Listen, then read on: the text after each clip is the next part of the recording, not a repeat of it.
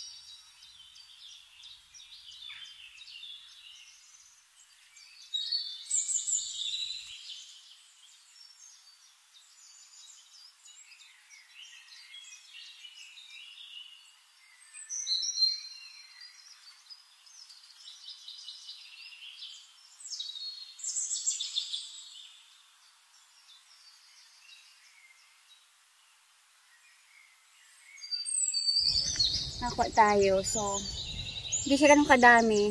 Pero mer meron pa sa kabila mga palangga. Kaya lang, mukhang ulan na naman.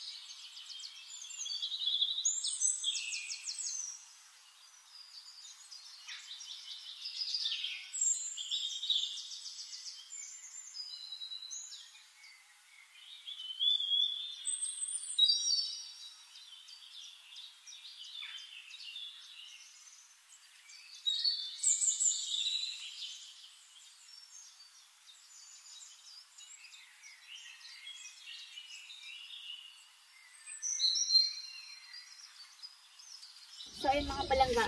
Pag ang okra na matanda na, matigas na siya, so hindi na siya pwede kainin dahil matigas na siya. So, ayan, naiwan na lang siya dyan. So, wala na siya.